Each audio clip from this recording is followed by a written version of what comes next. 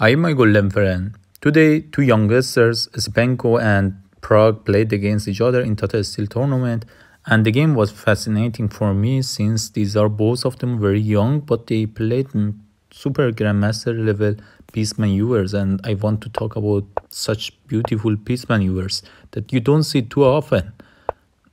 Uh, you, you see piece, uh, shuffling too often, but these are amazing. So I don't discuss opening too much. I jump forward. This is Nimzo Indian. Black gives up a bishop pair instead gains advantage in pawn structure. On the other hand, white has a bishop pair, so both of them are happy. And as you can see, engine also says that both sides are okay. So we arrive to a position, okay, uh, I have to stop at this moment. At this position, everything is okay. And then Esipenko plays g6. And your evaluation doesn't change much, right? But from human point of view and from uh, a beautiful find of Pragg here. Pragg understand that h4 d8 diagonal is very weak and it's a way that he can it's a diagonal that he should put his bishop there this is why he starts to man maneuver the bishop and put it there and on the other hand brings the knight to defend the c4 pawn everything is exactly in time.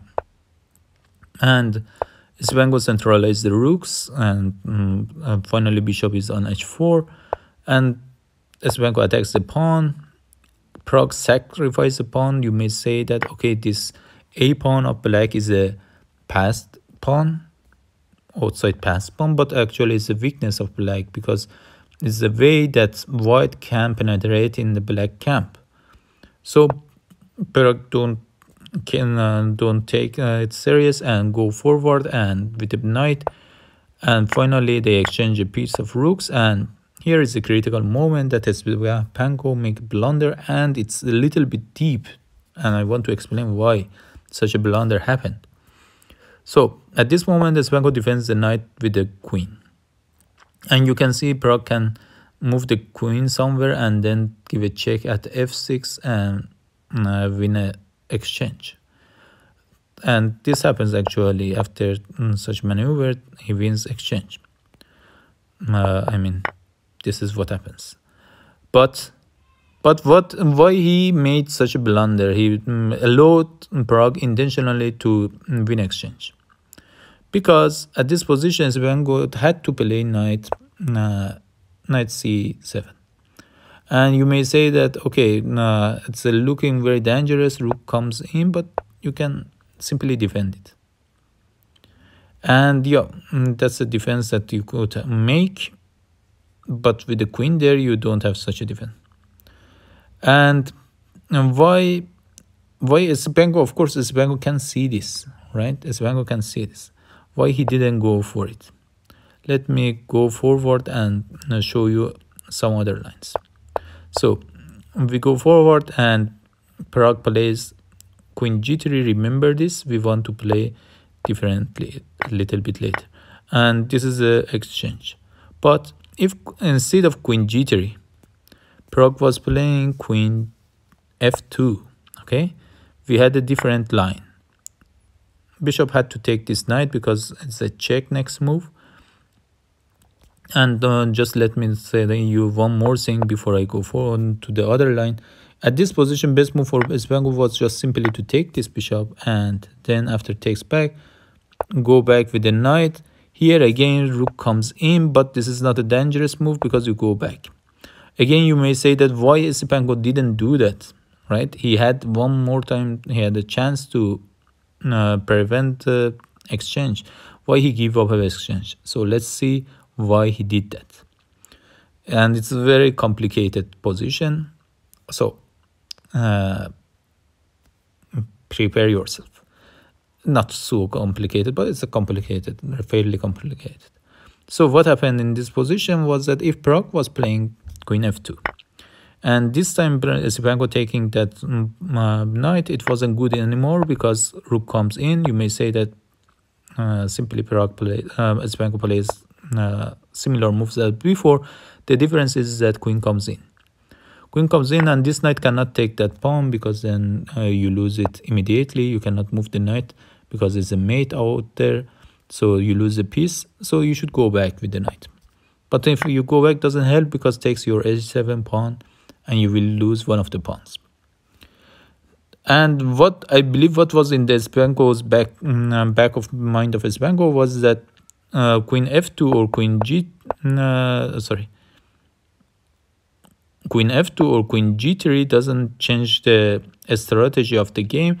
And finally queen of white reaches the a7 spot and he is in a very bad uh, shape at that moment.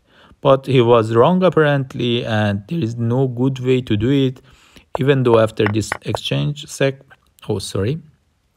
After this exchange sec we will see that finally Parag managed to bring the queen to exactly the same weak spot that Spanko couldn't defend. And Spanko even though he didn't like it but he forced to exchange queens.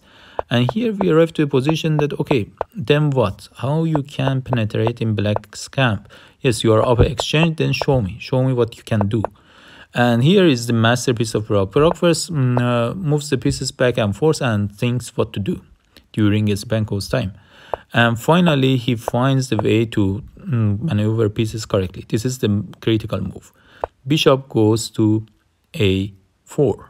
And what's the point of this? If you take this pawn, what's the uh, weakest part of mm, black? Yes, the g6 pawn is very weak and uh, it's the base of pawn structure and uh, pawn chain and then if you lose it you lose all pawns but it's not important even because the g pawn of white will be advanced passed pawn so Spanko couldn't afford to take that pawn so he moved the knight but then Parag waits like a master he waits says that make a next move my friend and Spanko uh, cannot move the bishop for the same reason as before, moves the knight back.